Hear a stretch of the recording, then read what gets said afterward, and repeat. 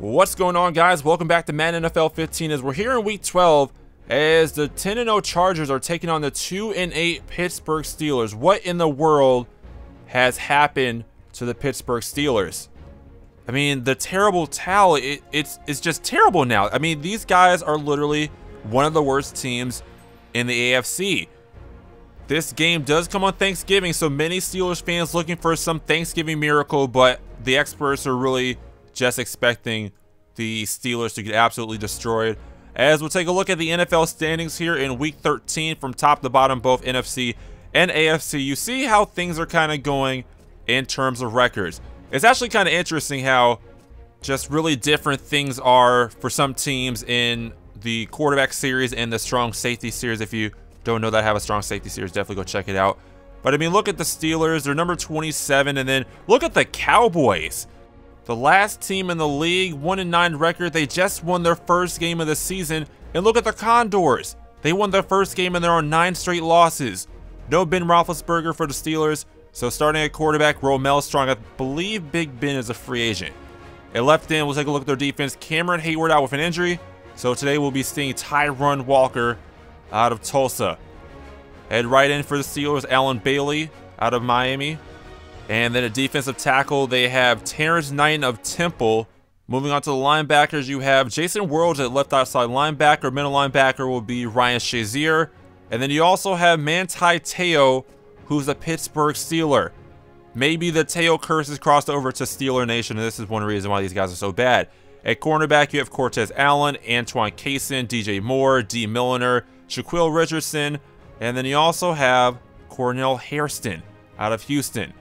At free safety, you have Texas A&M rookie Jawan Meyer and then Mark Barron at strong safety. So that's pretty interesting. A lot of SEC players here in the secondary for the Pittsburgh Steelers. And then, of course, Manti Te'o at middle linebacker.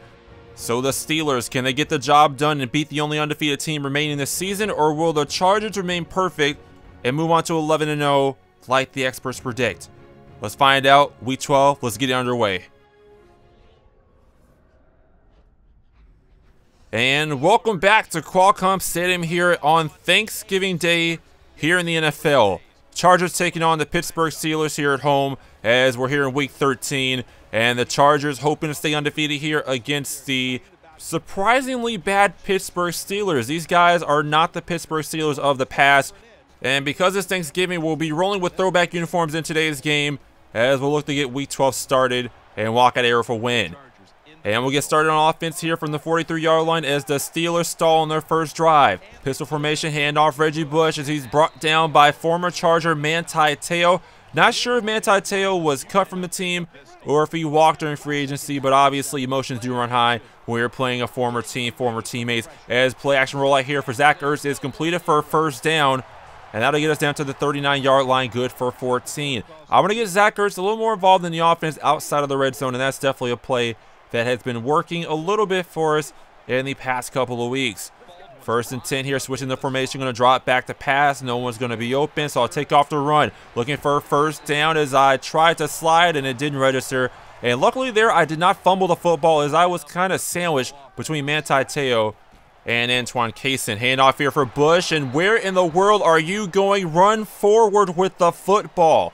That was a first down, and now we have a third down and one as he pretty much ran right in the Mark Barron. I formation here, handoff for Bush once again, and Bush. That's not a first down. That's going to bring up fourth down in inches. And we're just going to go for it. I'll take the football here myself as I'm kind of frustrated with Bush at this point in the game. And I'm trying to see if I can draw the Steelers offside, but instead I draw a false start as Reynolds, my right tackle, jumps. And we're going to end up having to settle for the field goal because I'm not going to go for it on fourth and six. Ashley made that fourth down and five as we're looking at a 51-yard field goal from Gostkowski from the right hash. This one's up and it's going to squeeze right through the left and it's going to roll through the upright. It hit the bottom crossbar and just fell through. What a kick or what luck by Gostkowski there on that kick as we're up 3-0 here halfway through the first. Normally he has a lot of range and I'm guessing the wind's blowing in our face here as that one barely fell through. Steelers don't respond as we're still up 3-0 here in the first quarter. Going to roll out here looking for a receiver. And that's going to be Sedarius Small across the middle. And that'll get us across midfield in a hurry. Nice route, nice catch by the rookie, getting us down to the 28-yard line. Second down and five here from the 23. Looking to run the ball at the middle with Bush. It's going to be a carry as Bush getting upfield. That one's good for a couple yards. Not a first down, though, as that'll bring up third down in inches. And we'll go back to the play that we tried to run earlier to get the fourth down conversion. And this one's good for a first as I pick up two yards. This is a play that I've kind of found to be a little unstoppable in those short yard situations that we might go to that a little more often here in the season. As we're going back to the shotgun here, looking for Sedarius Small, and he nearly falls into the end zone down at the one yard line. He rolled in the back of a defender, and now he has second and goal at the two. This one's going to be a read option, trying to get to the outside, but tripped up, and that's going to be a loss of four as we have third down and goal at the six yard line. Read option not going our way so far as I'm throwing for the end zone. And that's caught by Sedarius Small. And they got rid of that football right on time as I took a huge hit from a linebacker who came in unblocked and Sedarius Small with the touchdown grab. This was actually a pretty close throw as this could have been intercepted by DJ Moore, but look at the hit that I took from, I believe that's Ryan Shazier.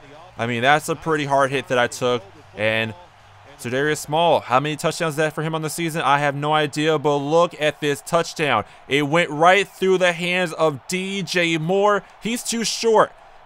The ball went literally right through his hands. He couldn't bring it in. And now we're up 10 to 0 here in the second quarter. Shotgun formation once again. Going to drop back. I see Lewis open over the middle. I'll find Lewis for a first down. And just like that, back across midfield, down at the 31 yard line. These uniforms must be good luck because the passing routes over the middle have been working quite well so far. Third down 11, dropping back, firing Lewis, caught over the middle once again, and this one is not going to get us to a first down, just short. And that'll bring up fourth down and one, and we'll be going for it once again. Can Bush secure the first down, and he'll get it by a couple of yards. That one good for two. Nice carry up the middle. That's what I want you to do. Just run up the middle. Get those first downs. Second down and eight. Blackmon in motion here, handoff for Bush, and Bush showing some speed, and he's in the end zone for a touchdown. That's what I've been waiting to see all season long, some type of explosiveness from Reggie Bush. Get to the outside, use your speed. Nice blocking outside by Blackmon, taking out the safety, and Bush in the end zone for a touchdown. That's 18 yards there, his longest carry of the season, believe it or not. He has not had a carry for more than 20 yards all season. Two more yards, and it would have been 20. But nice carry there by Bush. Getting to the outside, like I said, showing his speed. And maybe we'll see some more of this from Reggie Bush here in the season. But so far, I mean, it's been kind of hit and miss with Bush. And I can't fully blame Bush for a lot of these mistakes. Sometimes it's the offensive line, but it's mainly Bush. I mean, you saw some of the earlier carries in today's game and earlier in the season. He just doesn't follow blocks as well, and that's one reason why a lot of people have been asking me to start Dexter McCluster because when he gets in the game, he tends to make an impact. And look at Mark Sharp, the rookie, breaking tackles, picking up seven yards on the ground, getting that first down. These are the things that I like to see from my rookies. Coming out here, setting up a screen for Bush. Bush had the outside to work with, decided to cut it back inside for some reason, and he only picks up six yards. Kind of frustrating, but I mean, I just explained it. Reggie Bush isn't the best block follower. Quick pass to Small here, second and four. And Manti Te'o, that hit, I, have never seen him lay a hit that hard before. And unfortunately, Sedarius Small, our rookie wide receiver, looks to be in quite a bit of pain, holding his ribs. And we'll have to take a timeout to see what's going on as he's on the sideline looking like he's in a lot of pain. And I seriously doubt he's going to be returning to this ball game. With Small being out for what could probably be the rest of the game, next man up is Jonathan Baldwin. As we're trying to set up a screen for Bush, but the middle of the field is open. Ron Barr, first down, as we're down at the 23. And I got hit hard once again trying to deliver a pass. My offensive line needs to give me a little more time here in the game. But now we have a first down and 10, going 5 wide once again, looking in the flat for Rashad Swope caught. And that one's good for about 5 yards. As that'll get us inside the red zone. Two for two in the game already, and we're looking to make it three for three. Steelers bring a blitz. We set up a screen, and it's Justin Blackmon all the way into the end zone, and he'll score a touchdown. Two touchdowns on back-to-back -back possessions from 18 yards out, and the Steelers are absolutely clueless. They have no idea what to do. Is it a run? Is it a pass? This time it's a screen. Look at the blocking on the outside, and look at Justin Blackmon using that speed and getting in the end zone. I kind of criticized the pickup of Justin Blackmon during the preseason out of the free agency, but he's been such a valuable member of this team. Look at the blocking, though. I mean, it, the screen, they never had a chance. They only had two players on that side of the field, and now we're up 24-0 with a minute 34 left here in the first. Wow, seriously, Bush? Did anyone else see Bush? I mean, look at this one more time. I didn't catch it when I was playing, or else I would have given a better replay. But check out that linebacker coming around the left side. Look at Bush move towards him to block him, and then just give up. Just moving back towards the, the top of the formation, and I ended up having an incomplete pass instead of having time to complete a pass to Jonathan Baldwin, who was running across the field. Sometimes Bush makes really good plays like that 18-yard touchdown earlier, and then he makes plays like that where he kind of just infuriates me. But a read option here on third down and four is for some reason I take this one back to the inside instead of staying to the outside where I probably would have had some room to run.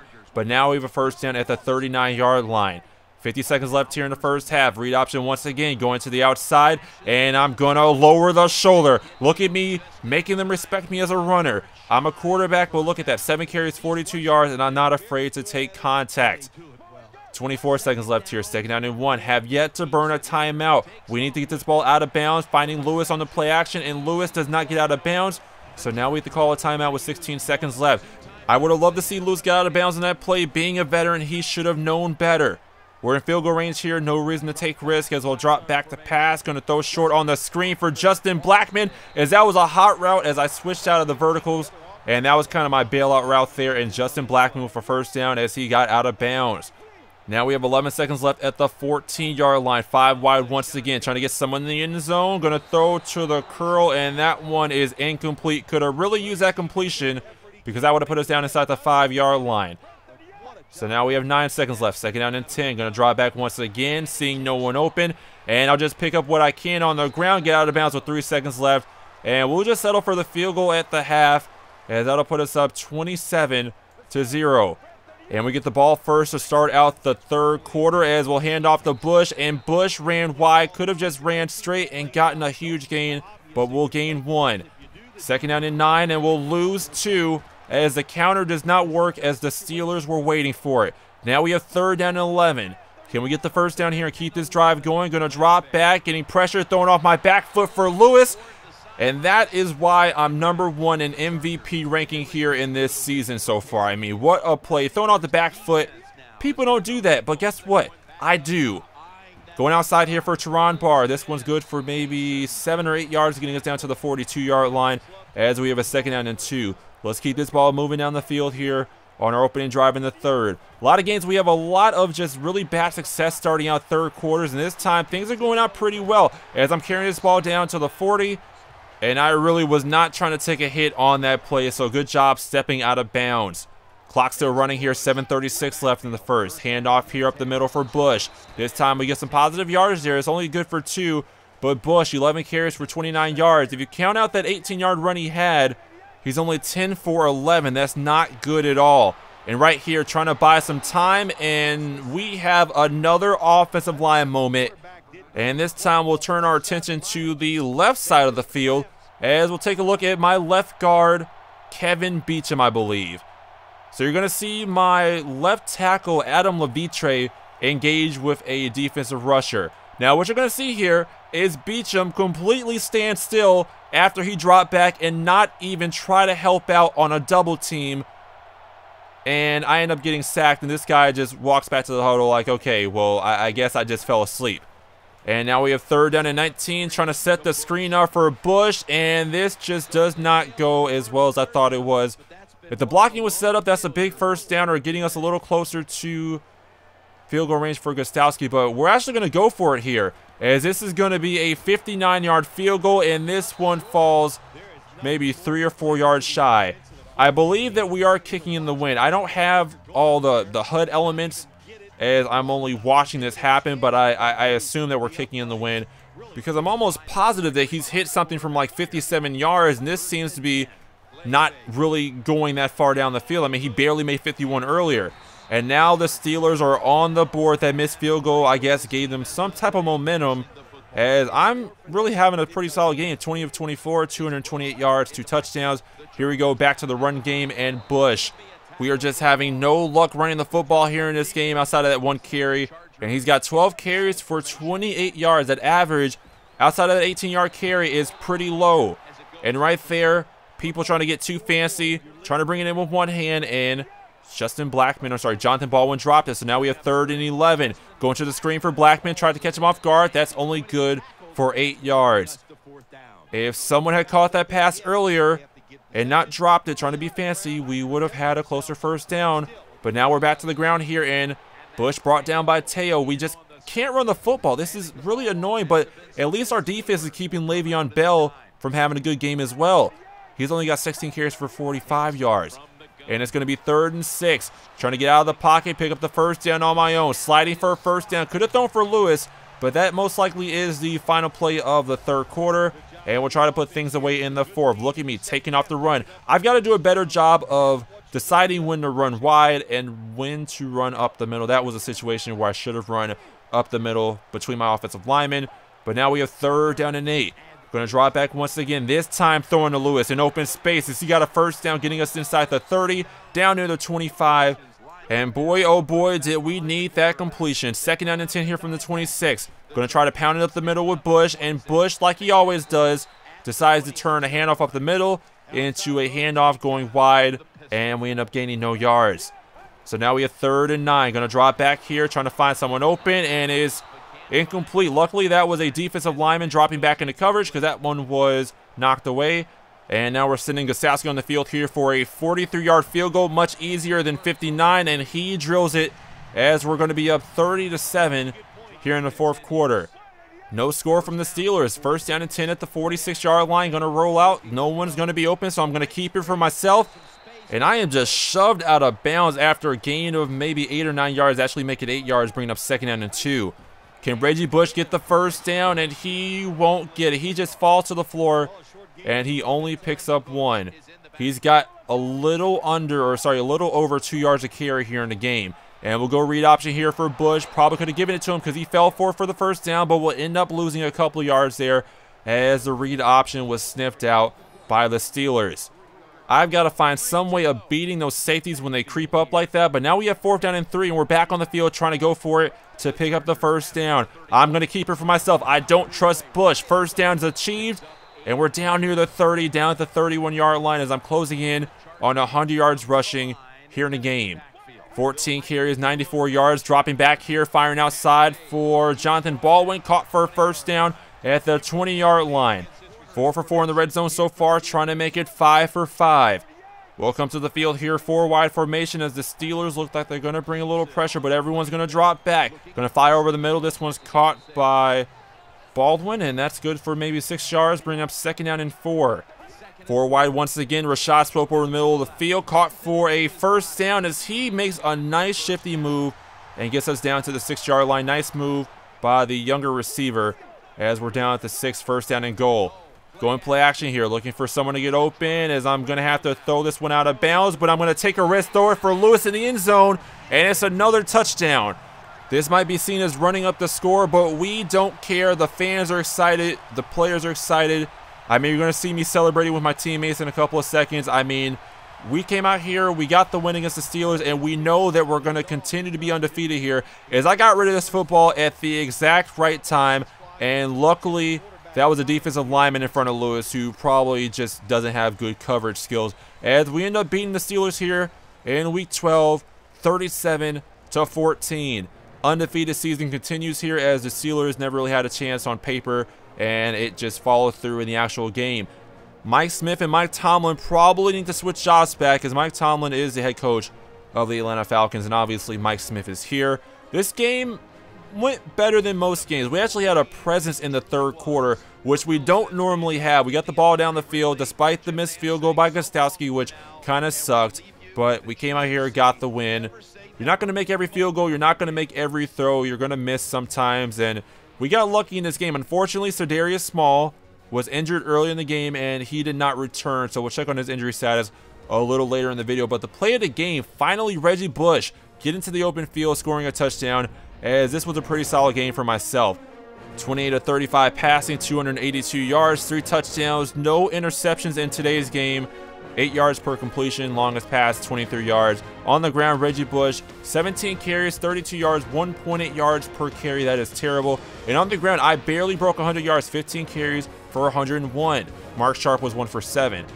Mercedes Lewis led us in both receptions and yards. 8 catches, 98 yards, 1 touchdown. Justin Blackmon, 4 for 38, 1 touchdown. Za'Darius Small, 4 catches, 48 yards, 1 touchdown. Like I said, we'll check on the injury status a little later in the video. Jonathan Baldwin, 3 for 14. Reggie Bush, 2 for 12. Rashad Swope, 2 for 14. Teron Barr, 2 for 28. Zach Ertz, 2 for 28.